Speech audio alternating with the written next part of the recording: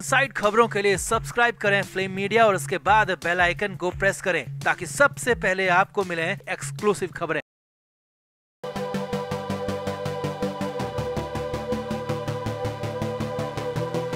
राज कुंद्रा पर अब सिर्फ़ अश्लील कंटेंट बनाने का ही आरोप नहीं है। बल्कि कई और सनसनीखेज आरोप लग रहे हैं। हाल ही में सागरिका सोना शर्लिन चोपड़ा, जोया राठौड़ जैसी कई मॉडल सामने आई थी और उन्होंने राज कुंद्रा की पूरी पोल पट्टी खोल कर रख दी थी, जिसके बल पर राज कुंद्रा गिरफ़्तार कर लिए गए और जेल भेज दिए गए। मगर अब एक और एक्ट्रेस सामने आई है, जिन्होंने राज कुंद्रा की पूरी कुंडली को खोल कर रख दिया है। राज कुंद्रा कितनी घटिया हरकत कर सकता है? और उस एक्ट्रेस के साथ बंद कमरे में जो जो किया गया, वो सब इस एक्ट्रेस ने अब खुलकर बता दिया है। तो इस एक्ट्रेस के सनसनीखेज खुलासे के बाद माना जा रहा है कि राज कुंद्रा को ताउम्र जेल में ही रहना पड़ सकता है। ऐसा नहीं है कि इस एक्ट्रेस ने पहले इस मामले के खिलाफ शिकायत दर्ज नहीं करवाई थी। एक्ट्रेस ने पहले भी पुलिस थाने में राज कुंद्रा के खिलाफ एफआईआर करवाई थी, मगर उस वक्त राज कुंद्रा ने पैसे और पावर के दम पर एक्ट्रेस का मुँह बंद करा दिया। एक्ट्रेस को डरा धमका कर चुप करा दिया। मगर अब ये एक्ट्रेस सबके सामने आ गई है और राज कुंद्रा का अब तक का सबसे गंदा राज खोल कर रख दिया है।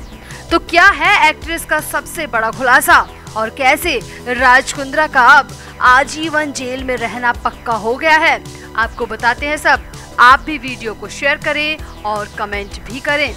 तो पिछले 24 घंटे में राज कुंद्रा पर एक साथ कई आफत आई हैं। एक तरफ़ तो राज कुंद्रा पर ऑनलाइन गैम्बलिंग के चक्कर में तीन हज़ार करोड़ के स्कैम का आरोप लगा है। वहीं अब एक मशहूर एक्ट्रेस ने भी राज कुंद्रा के खिलाफ अपना मुँह खोल दिया है। राज कुंद्रा पर अब तक का सबसे संगीन आरोप लगा दिया है। तो रिपोर्ट्स की माने तो 14 अप्रैल 2021 को मुंबई के जुहू पुलिस स्टेशन में राज कुंद्रा के खिलाफ एक कंप्लेंट दर्ज करवाई गई थी, जिसमें एक्ट्रेस के साथ शारीरिक रूप से प्रताड़ना का गंभीर आरोप लगाया गया था। एक्ट्रेस ने उस कंप्लेंट में राज कुंद्रा ने बंद कमरे में जो जो किया था, वो सब बताया था। मगर हैरानी की बात देखिए, इतना गंभीर मामला होने के बावजूद ये कंप्लेंट आगे बढ़ ही नहीं पाई। आरोप है कि उस वक्त राज कुंद्रा ने अपने पैसे और पावर के दम पर कंप्लेंट को निरस्त करवा दिया था। जी हाँ एक्ट्रेस का आरोप है कि कंप्लेंट दर्ज करवाने के बाद लगातार उन्हें धमकियों भरे कॉल आने लगे। और एक्ट्रेस को डराया गया कि अगर उसने कंप्लेंट वापस नहीं ली तो उसे जान से मार दिया जाएगा।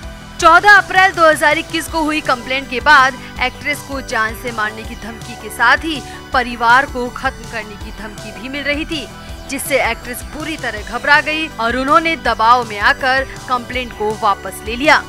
मगर अब बीजेपी विधायक राम कदम ने इस मामले को एक बार फिर से उठा दिया है। वो ही राम कदम, जिन्होंने राज कुंद्रा के खिलाफ तीन हज़ार करोड़ के घोटाले का मामला उठाया था, उन्हीं राम कदम ने एक्ट्रेस से हुई शारीरिक प्रताड़ना का भी खुलासा किया है। राम कदम ने बताया कि 14 अप्रैल 2021 को एक्ट्रेस ने जूहू पुलिस स्टेशन में राज कुंद्रा के खिलाफ एफआईआर करवाई थी, मगर ये एफआईआर आगे नहीं बढ़ पाई, क्योंकि एक्ट्रेस से कंप्लेंट को वापस लेने के लिए दबाव डाला गया था। हालाँकि खुद एक्ट्रेस तो सामने नहीं आई और कौन एक्ट्रेस है ये बताया नहीं जा सकता, मगर राम कदम ने एक्ट्रेस के बिहाफ पर इन सब बातों का खुलासा किया है। विधायक राम कदम ने एक्ट्रेस को सपोर्ट करते हुए कहा कि आखिर क्यों राज कुंद्रा ने दबाव बनाया? आखिर क्यों इतनी बड़ी कंप्लेंट आगे नहीं बढ़ पाई? और राज कुंद्रा पर उस वक्त एक्शन क्यों नहीं लिया गया? इन सब बातों को लेकर राम कदम ने सवाल उठाए हैं। यही नहीं, विधायक ने तो ऐलान भी किया है कि अगर तीन दिन के अंदर आरोपी के खिलाफ सख्त एक्शन नहीं लिया गया तो वो मुंबई पुलिस कमिश्नर और गृह मंत्रालय तक खुद इस मामले को लेकर जाएँगे। बीजेपी विधायक ने इस मुद्दे पर महाराष्ट्र सरकार को भी घेरा और कहा कि मुंबई में एक्ट्रेस के साथ इतनी बड़ी नाइंसाफी होती रही और सरकार ने कोई एक्शन नहीं लिया। अब कानून के जानकारों की माने तो अगर एक्ट्रेस के द्वारा लगाए गए आरोप सही साबित होते हैं तो राजकुंद्रा को आजीवन कारावास तक की सजा का सामना करना पड़ सकता है। यानी राजकुंद्रा को ताउम्र जेल में रहना पड़ सकता है। तो आपका इस सनसनीखेज खुलासे पर क्या कहना है, कमेंट ज़रूर करें और वीडियो को भी शेयर करें। तो सॉफ्ट पॉन मामले में गिरफ़्तार हुए बिजनेसमैन राज कुंद्रा की मुश्किलें खत्म नहीं हो रही हैं। अब राज कुंद्रा के खिलाफ बीजेपी के विधायक और बीजेपी के प्रवक्ता सामने आए हैं। बीजेपी विधायक और प्रवक्ता राम कदम ने कुंद्रा और उनकी कंपनी पर ऑनलाइन गेम के ज़रिए हज़ारों करोड़ रुपए की धोखाधड़ी का आरोप लगाया है।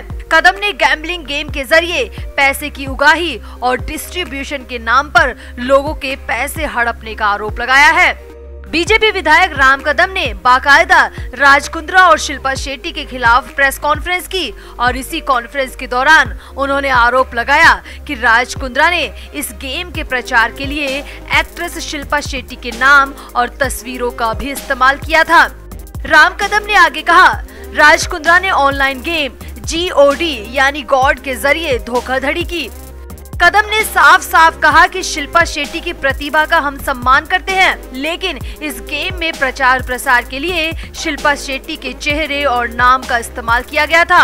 और इसी चेहरे और इसी नाम पर लोगों ने विश्वास किया और अपने लाखों रुपए लगा दिए। बीजेपी विधायक का कहना है कि राज कुंद्रा की वियान इंडस्ट्री के नाम पर कंपनी है। जिसमें वो डायरेक्टर हैं और उसी वियान कंपनी का जीओडी यानी कि गेम ऑफ़ डॉट्स नाम का एक ऑनलाइन गेम है। इसे एक लीगल ऑनलाइन गेम बताया गया। वियान कंपनी के लेटर हेड पर शिल्पा शेट्टी की तस्वीर का प्रमोशन के लिए इस्तेमाल किया गया। ये भी बताया गया कि ये ऑनलाइन गेम सरकार द्वारा मान्यता प्राप्त है। इस खेल में इनाम की राशि देने की बड़ी बात की गई। देश भर से लोगों को ठगा गया। 2500 से 3000 करोड़ का घोटाला वियान इंडस्ट्री ने किया है। राम कदम ने आगे कहा, हमारे संविधान ने किसी को ठगने का अधिकार नहीं दिया। किसी से 30 लाख रुपए लिए गए, किसी से 15 से 20 लाख रुपए लिए गए। गेम के डिस्ट्रीब्यूशन की बात कर लोगों को बहकाया गया और उनसे बुरी तरह पैसे लूटे गए। राम कदम ने आगे बताया कि लोग भी राज कुंद्रा और शिल्पा शेट्टी की बातों में आ गए। शिल्पा शेट्टी का नाम और चेहरा देखकर लोग बहक गए और लोगों ने बिना सोचे समझे अपनी जमा पूंजी लगा दी। विधायक ने सवाल उठाया कि इस तरह ठगने का अधिकार राज कुंद्रा को किसने दिया? और अब हम राज कुंद्रा के खिलाफ कड़ा कदम उठाएँगे। आगे जो बात विधायक राम कदम ने बताई है, वो और भी हैरान करने वाली है। बीजेपी विधायक ने आगे कहा, इस मामले के पीड़ित जब भी पैसे मांगने राज कुंद्रा के ऑफ़िस पहुँचे तो उन्हें बाउंसर्स के ज़रिए पिटवाया गया, उनके साथ मारपीट तक की गई। बीजेपी नेता ने कहा, यह किसी व्यक्ति विशेष के खिलाफ या समर्थन में प्रेस कॉन्फ्रेंस नहीं है, बल्कि राज कुंद्रा द्वारा युवाओं और सीधे साधे लोगों को ठगने के खिलाफ ये प्रेस कॉन्फ्रेंस की है, और वो इस मुद्दे को आगे तक लेकर जाएँगे।